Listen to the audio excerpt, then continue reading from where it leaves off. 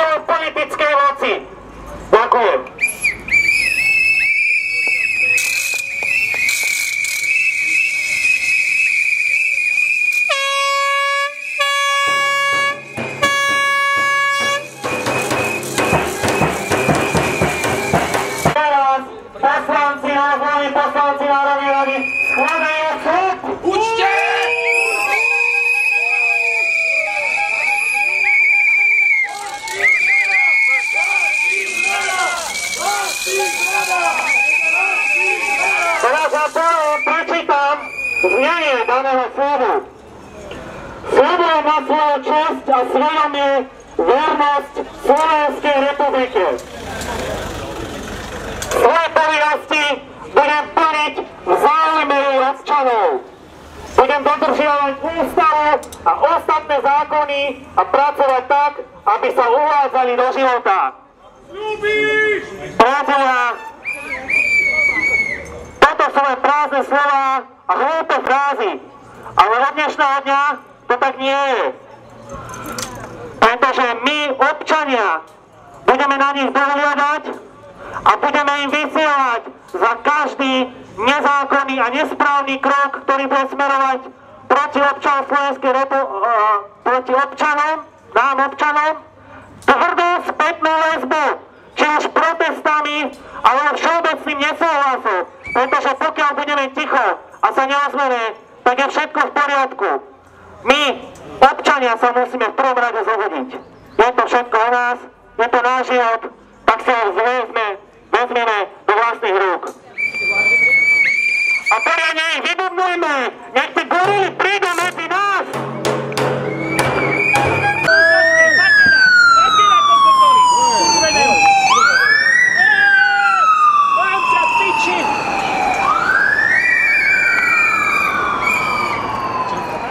A to nevieš prečo robiť? Že že to má... Stará mama Peter Čolinsky vám prečíta niečo na dobrú noc.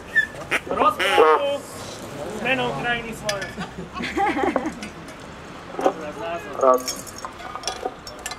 15. Rum si dáme?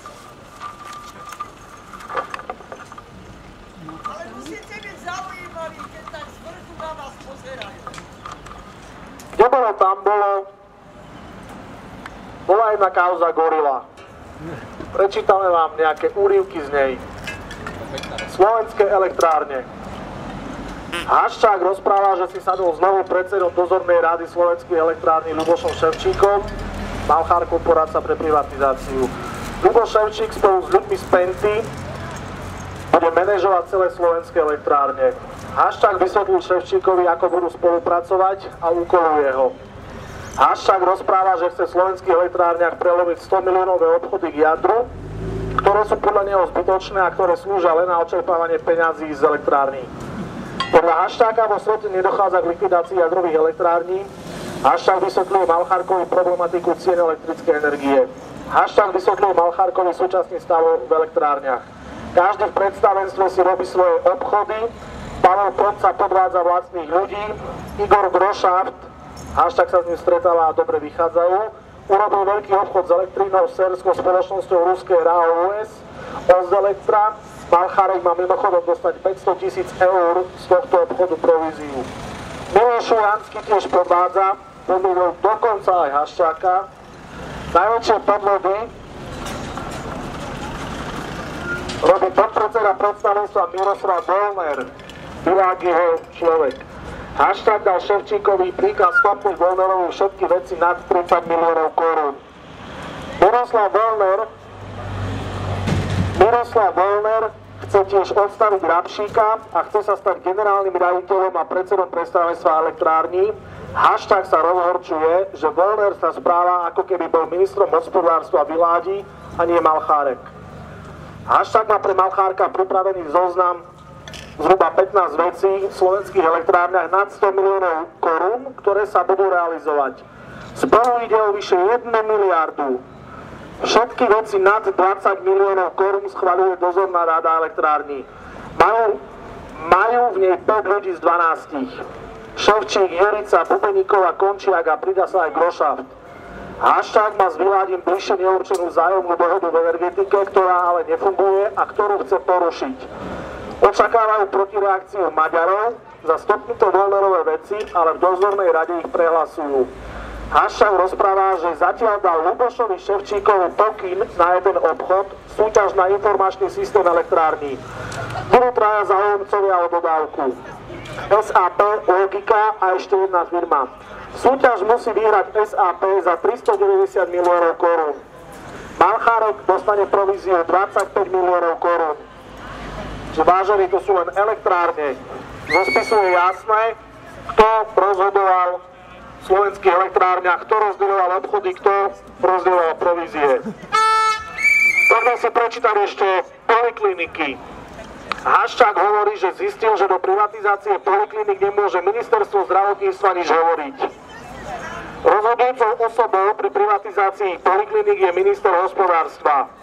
Haščák by mohol presadiť, aby záujemcovia o polikliniku museli mať zdravotníckú licenciu po dnešnej koaličnej rade, keď SMK utočila na ministra Zajaca, že celé zdravotníctvo je penta, to nechce preháňať.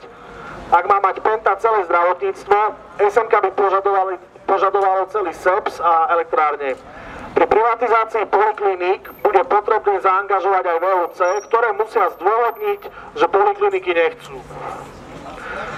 Mal by to urobiť do ukončenia svojho mandátu Lubo Roman, ďalší kamarát. Ak to nebude chcieť urobiť, má byť zaangažovaný Vladimír Baján.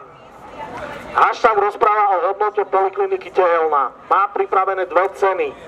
Ak bude poliklinika Tehelna naďalej zdravotníckým zariadením, má hashtag pripravenú ponuku 94 miliónov s tým, že minimálne 50 zo 62 ambulancií bude musieť vypovedať nájom a dať si tam vlastných lekárov, ktorí budú v zamestnaneckom pomere prípade, že pôjde o realitné využitie polikliniky, má cenu 60 miliónov. Z rozhovoru vyplýva, že Haščák je len poradca bližšie nezistenej skupiny osôb, ktorá chce do polikliniky investovať a ktorej členkovi aj Bubeníková.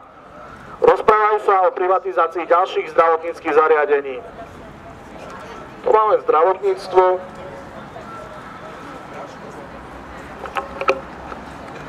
Milana Rastislava Štefánika. Haščák vysvetľuje Malchárkovi, že za privatizáciu letiska nedostane Malchárek nič. Kamarátovi nič nedá. No. Haščák berie, že letisko ako priateľskú službu od Malchárka. Penta Haščák berie letisko ako priateľskú službu od Malchárka. Penta pri letisku vyplatila len 5 členov privatizačnej komisie, ktorí hlasovali za konzorcium 2 čiže Penta, Peniaze dostali Jan Rusňák, Anna Bubeníková, Vladimír Drozda, Jozef Jurica dostal ponuku na 5 miliónov a Peter Vlasaty dostal ponuku na 1 milión. Penta ešte dá ministrovi dopravy Prokopovičovi 20 miliónov. Hašák hovorí, že za letisko nedali nič ani SDKU. SDK urobila politickú dohodu s rakúskym kancelárom Šuselom. Poďme sa pozrieť, koľko zarobil Balchárek.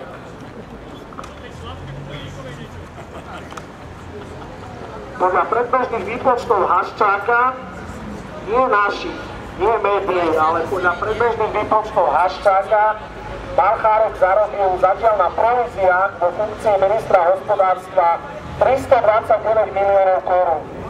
Podľa Haščáka je to viac ako zarobil za dva roky funkcii ministra Pavel Rusko. Rusko dostal od Penty najviac 60 miliónov za PPG. A Malchárek môže byť spokojný.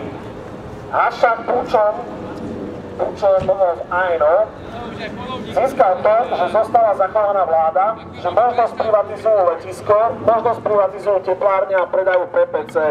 Haščák navrhuje, aby si teda náklady rozdelili na polovicu. Haščák Malchárek. Haščák navrhuje, že ak by sa Malchárkové obchody, ak by, Alcha, ak by Malchárkové obchody nevyšli, alebo ak by ho odvolali z funkcie ministra, tak všetky náklady puču platil Haščák. Haščák nechce, aby to Malchárek platil z peňazí, ktoré si zarobil predtým. Malchárek chudák súhlasí. Teraz o tom puči. Ten put znamená to, že v danom volebnom období sa kupovali poslanci Národnej rady a Mikuláš Zorinda, aby si zachoval nadpolovičnú väčšinu v parlamente, tak vlastne kupovali poslancov. Skúpili poslancov, pokiaľ viem, z HZD, skúpili poslancov ANO. Takže všetko to platila Penta, ako vyplýva zo spisu. A na záver si ešte prečítame v tomto blogu dnešnom Bratislavská tepláreň. Haščák sa stále nevie dohodnúť s prezidentom Fondu národného majetku Kojdom na obchodoch v Bratislavskej teplárni. Haščák by ho odvolal z funkcie predsedu dozornej rady, nechcú s ním ale ísť do konfliktu, tak to nechajú tak. Malchárek hovorí, že sa uvoľnilo miesto v dozornej rade. Haščák hovorí Malchárkovi, nech tam dá koho chce. Haščák chcel Malchárka vedieť, za koho je do dozornej rady navrhnutá osoba Zicho. Malchárek hovorí, že ho navrhol on. Zichová manželka Renáta Zichová je prednoskou odvodného úradu Starej Hubovní. Do funkcie ho presadil Malchárek za ANO. Zichová je priateľka Malchárkovej priateľky Márie. Malchárek dal okrem toho do dozornej rady východoslovenských elektrární 35-ročného bratranca jeho priateľky Márie z Bardejova, Jozefa Kľúčika zo Starej Hubovne a Jaroslava Suchého. Zdá sa, že zloženie dozornej rady východoslovenských elektrární zostavovala Malchárková priateľka Mária. Haščák hovorí, že by od nich bolo možné, že by od nich možno niečo v súvislosti s privatizáciou zvyšného balíka elektrárny potreboval. Že rozhodujú kamaráti, kamaráti kamarátov, penty, bývalých ministrov a tak ďalej. Že budeme potom pokračovať ďalej čítaní rozprávky s názvom Gorila.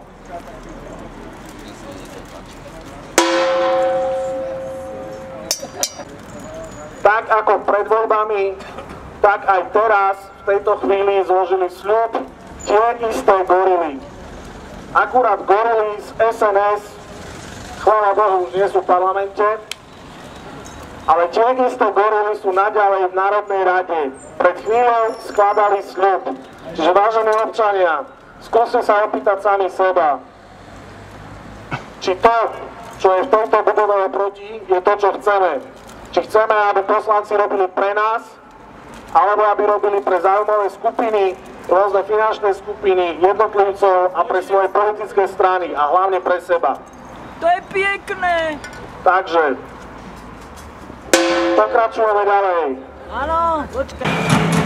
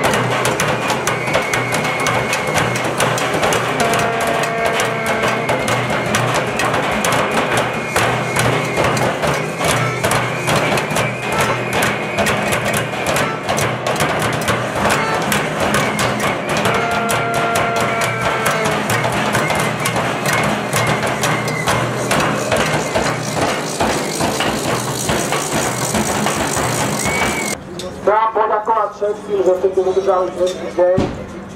Padlo na slnko. Ja ledva počujem.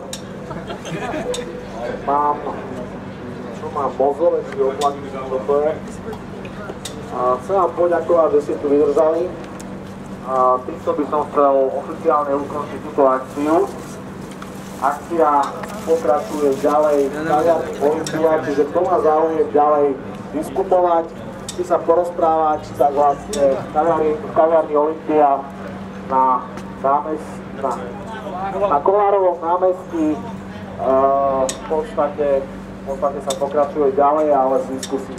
Že kto má záujem, môžete kľudne ísť že určite, určite to treba využiť, pokiaľ sa chcete porozprávať, pokiaľ máte nejaké názory, ktoré chcete prejaviť, tak uh, v pohode môžeme tam ďalej. Si to súdy odvezieme, uplatníme, najvyššie opäť použijeme, takže ako hovoríte, sa vám to páčilo.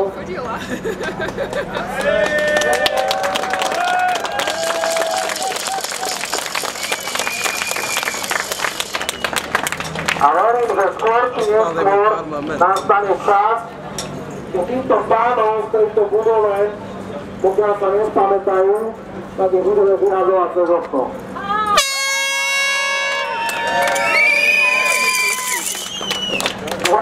poslanci, celý deň ste chodili na schody, vyškierali sa, usmievali, ale pokiaľ sa nespamätáte, tak príde chvíľa, keď vás budeme vyhadzovať cez okno. Tak sa už uvedete.